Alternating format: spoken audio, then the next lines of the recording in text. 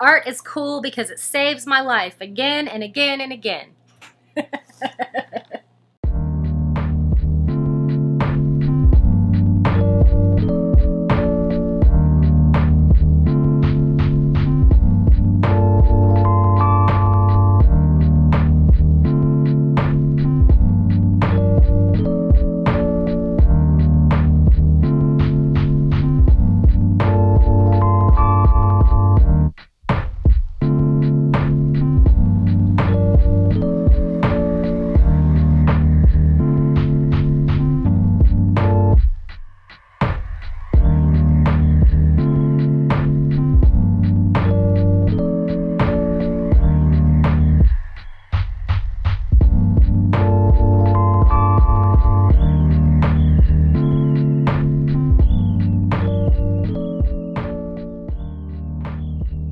name is Mahea and I'm a DJ and an artist, and I play with kids for a living. I grew up in a lot of small towns in Texas. I was born in Grapevine. I've lived in Lufkin, Abilene, McAllen, San Antonio, but Austin's the place I've lived the longest. I've lived there for more than half of my life. Let's see. So I basically come from rednecks. A lot of my life was in the country, um, so playing in the woods and things like that. I was also kind of a tomboy, so I'd build ramps and jump bikes. Um, I also collected stuff. I was always kind of a random collector of random pieces of glass and just things I would find as a kid. I was I was shy. I was really shy. Um, I was really friendly once you got to know me, and I loved animals, but definitely shy. And I actually I think that's why art and music has been something I've gotten into because moving a lot and being shy, art and music helps. So. I have an older sister and an older brother and a younger brother. My older sister was a huge influence on me. She was an artist. She was actually the artist in the family, and it took me a while to actually call myself an artist. Um, but but at the same time, she was a huge, huge influence on me. Um, kind of helped me understand my place in the world at an early age. Part of it was because um, my parents had a lot of prejudice, and she would hang hang around with a bunch of really fabulous gay guys in San Antonio, and I saw it in, at an early age, kind of how full of shit that prejudice was, and it helped me navigate as I grew up and had to deal with my own, you know, my parents maybe not liking some of my friends because of the way they looked or something like that. It helped me get a little piece of wisdom at an early age to help navigate that.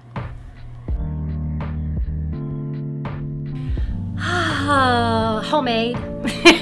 I am a homemade artist. Um, I grew up, uh, we grew up not having much, and so I believe in making a lot out of a little. Um, I think growing up not always getting what you want helps you be creative. And so I learned at an early age to be really creative with the limited resources that I had, and that's a huge influence on my DJing and my collage work. I think I've all, always practiced art. Um, I, ever since I was probably my first memories, I was always drawing um, and making things, but I don't think I ever gave myself the name an artist till I was out of college.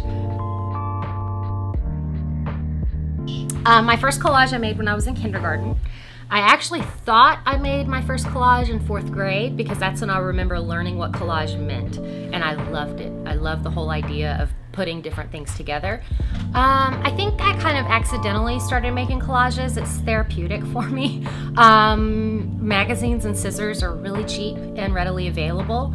And um, I think I just started getting into randomly cutting things out and, and just enjoying the shape, if that makes sense.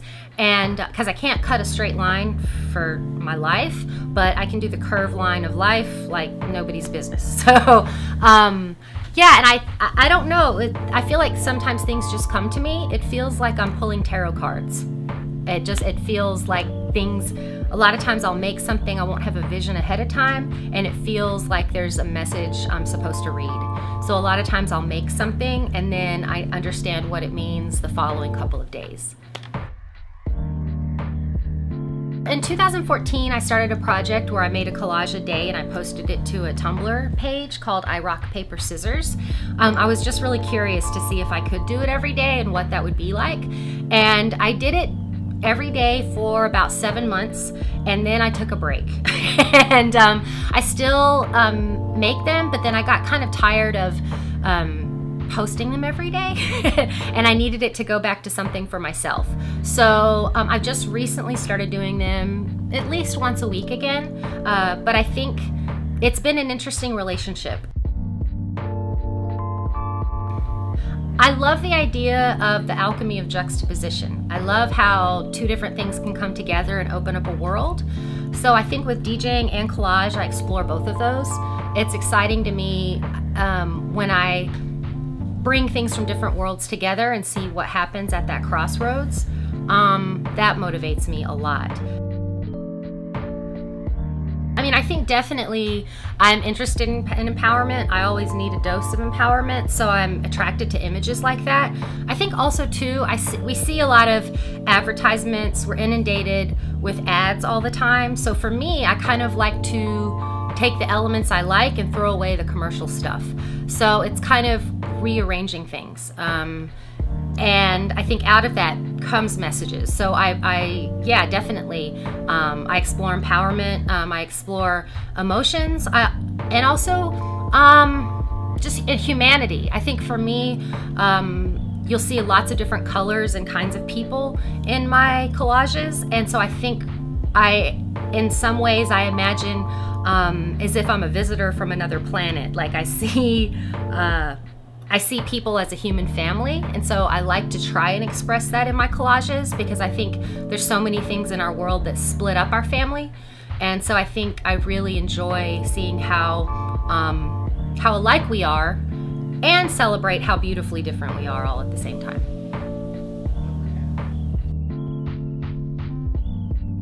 Probably one of my favorite ones I did um, was when I had a back injury. Um, I actually had a back injury mm, probably about 10 years ago and I had back surgery and I um, it was really frustrating for me because I couldn't move my body like I was used to and it, and it messed with me a lot. And so when it would flare up um, it really infiltrated a lot a lot of my life about how um, sad I was that I couldn't use my body. So one of my favorite collages I think was a way for me to envision my health. And um, so I, I just gathered lots of things that um, helped me feel better. I, there's also one I did um, that came to me really fast, and I and I love the way it turned out. It was a um, it, the picture was actually only two pieces that I put together, and um, one part is a little girl praying, and there's wind blowing on her hair. And basically, what I did was I cut her dress away. So you just see her arms and her neck. And I put her in the sky um, at the top of an explosion. So it looks like her explosion is the dress. Um, and that's one of my favorites. It was so simple, it came really fast. And every time I see it, I physically feel, I feel it. And I, I love that feeling of when um, you're connecting to a higher power. And I feel like it captures that energy.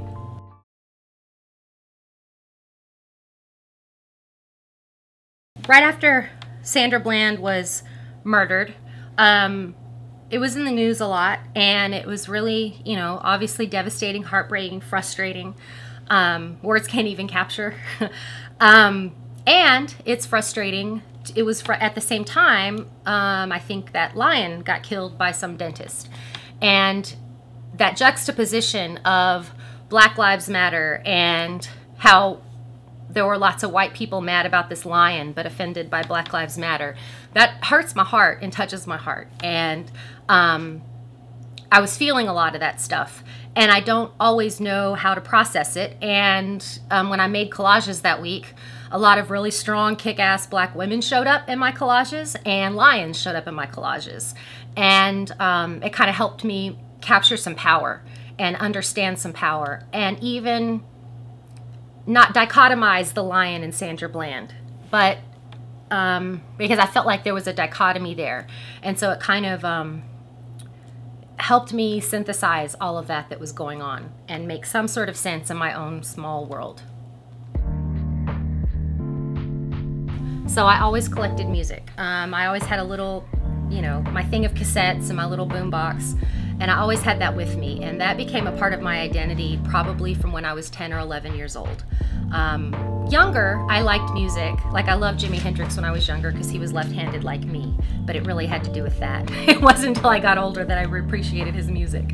Um, but I was very obsessed about music. There were times I couldn't sleep, and I would um, sing every chorus of every Duran Duran song when I was 11 until I went to sleep. so I definitely always had um, an interest, almost an obsessiveness with music, and it helped me um, navigate being shy. It helped me make friends. Um, it helped me when I was shy about having friends, all of that. Um, when I was in high school, I had a boyfriend who I helped get his DJ equipment. I helped him with ideas. I would, um, you know, all kinds of things. But I was kind of in this mindset of, I can't do that. It, I'm, I'm, embarrassed to say it, but I was one of those girls that thought that was something boys do. Um, that was a long time ago when I went to college, I ended up doing social work um, kind of stuff, um, teaching, working with children. I was a children's advocate at a women's shelter. I didn't consider myself an artist.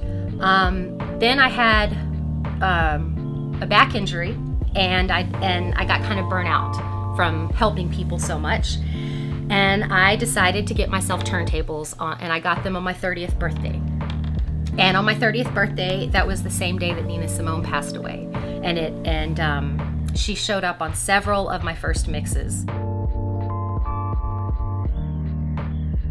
I taught myself how to beat match and I started picking up random gigs at coffee shops for a sandwich. I DJ'd at a, on a pirate radio station here in town. And I think it's just been really fun for me to explore all different kinds of music. I love records.